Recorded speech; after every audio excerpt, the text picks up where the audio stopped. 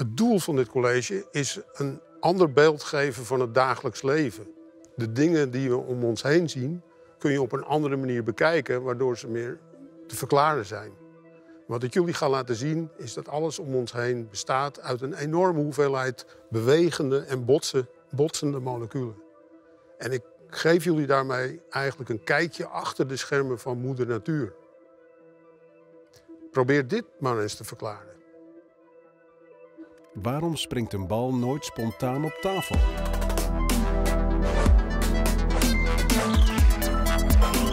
Dit is de Universiteit van Nederland. Waarom vinden we het zo gek dat een bal wel gewoon kan vallen, maar nooit spontaan opspringt? Waarom gaat de tijd altijd vooruit, nooit achteruit? Waarom koelt een kop thee af in plaats van dat die warm wordt? Waarom, als je een vrucht weglegt, gaat die rotten na een tijdje? Waarom wordt die niet weer eens een keer fris? En meer persoonlijk, waarom wordt een persoon altijd maar ouder en nooit jonger? De vraag die ik nu ga proberen te beantwoorden, kan een bal spontaan opspringen?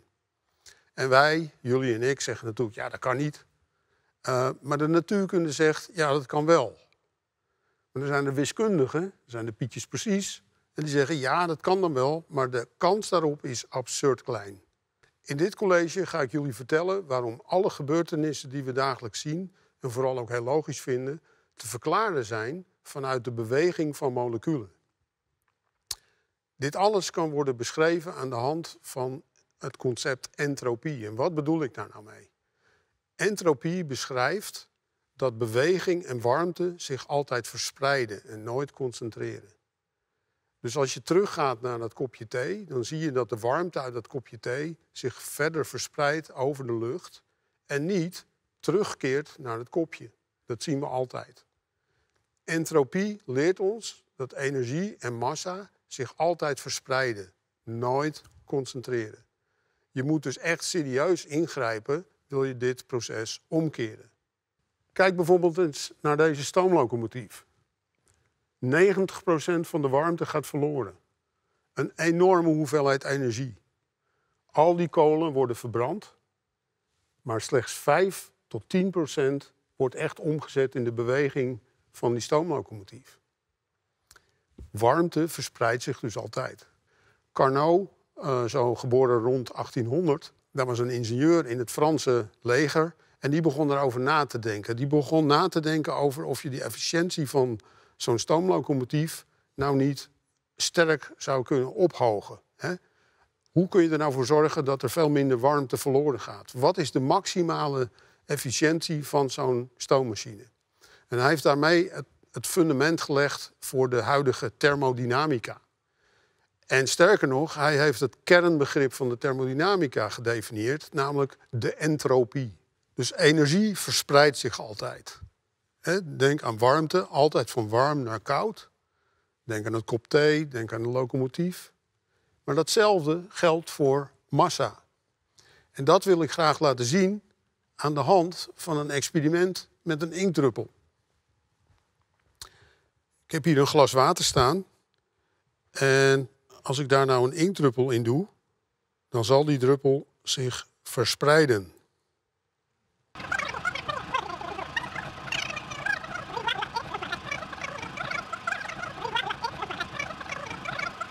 Hoe moet je dit nu verklaren? Nou, denk nu eens aan moleculen.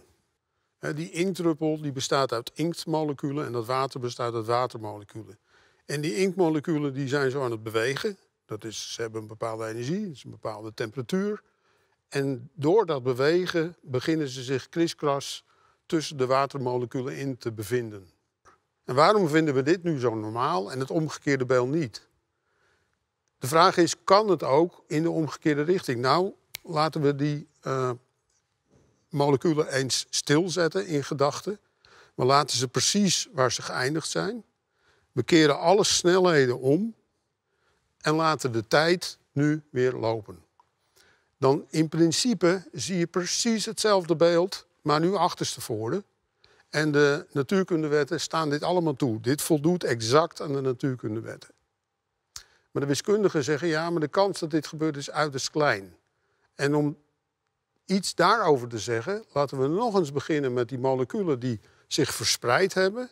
We zetten de tijd weer stil. Maar nu verplaatsen we één molecuul een heel klein beetje. Alle snelheden zijn weer omgedraaid, maar die ene molecuul die hebben een heel klein beetje verschoven, die rode. En nu laten we de tijd weer lopen. En wat je nu ziet, is wat wij altijd zien. De moleculen blijven verspreid. Dat hele teruggaande proces vindt niet plaats. Er is zeg maar chaos. En dit laat zien dat alle verschillen in de wereld, dus pieken, concentraties, warmteconcentraties, altijd maar de neiging hebben om uit te doven, uit te vlakken. Het omgekeerde kan wel, maar als je ook maar een ietsje pietje verandert aan de beginsituatie, dan gaat dat niet lukken. Laten we eens teruggaan naar die uh, vallende bal. Wat gebeurt er nu met die vallende bal als we nu denken aan moleculen? Je laat die bal los en uh, de bewegingsenergie van die bal komt terecht in het zand. De zandkorrels en de zandmoleculen in die korrels gaan allemaal bewegen. Dat is allemaal energieoverdracht. Die bal die ligt stil, die is zijn energie kwijt. Al die energie zit nu in het zand en dat gaat als een golf door dat zand. En dat zand wordt daardoor ook warmer. Als je er een thermometer in zou stoppen, dan zou je dat kunnen zien als je een goede thermometer heeft. Want al die moleculen bewegen en dat is warmte. En die warmte die koelt aan de lucht. Die zandmoleculen botsen met de luchtmoleculen.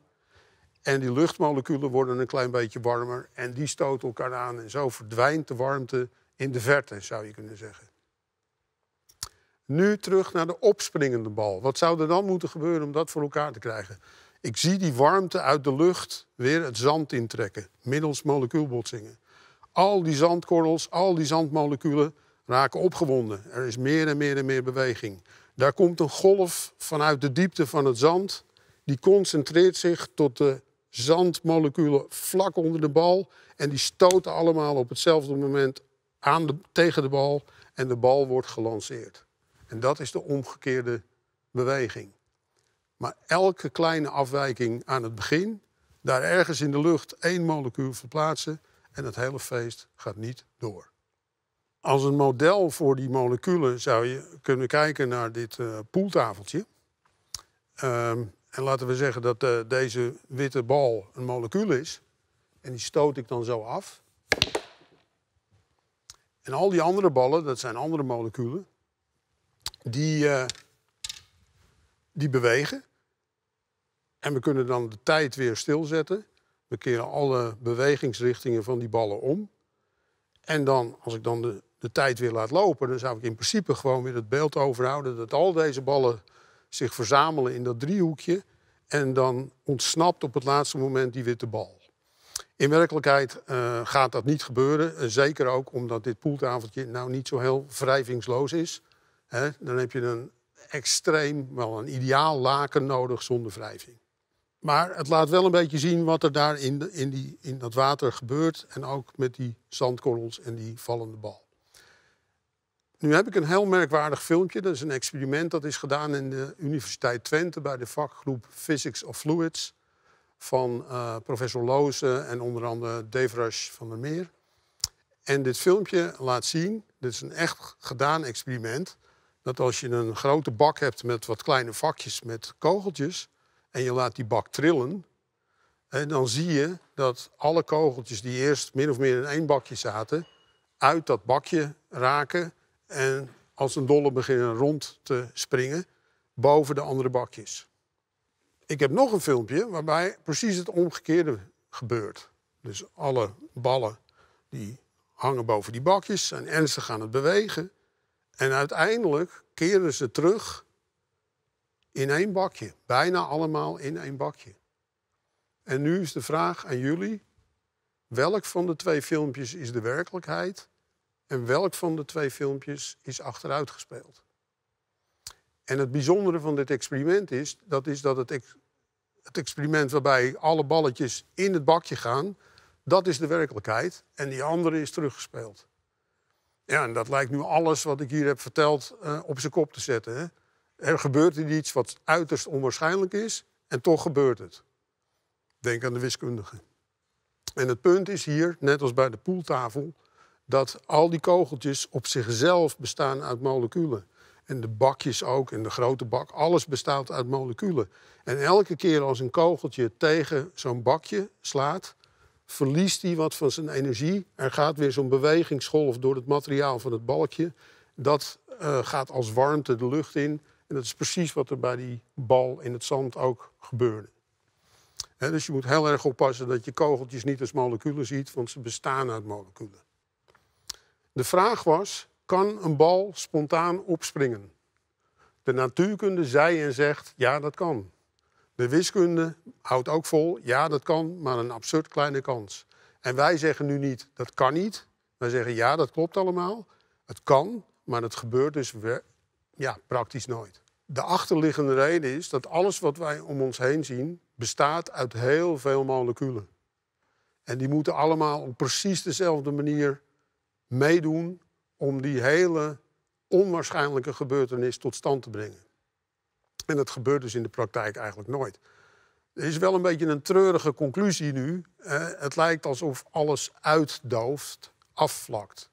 concentraties verspreiden zich, warmte stroomt weg, het verspreidt zich. En wij, de wereld, het hele universum, dooft uit en vlakt af. En dat is natuurlijk een beetje een treurige toestand. Maar gelukkig voor ons duurt dat nog heel erg lang. Dank u wel.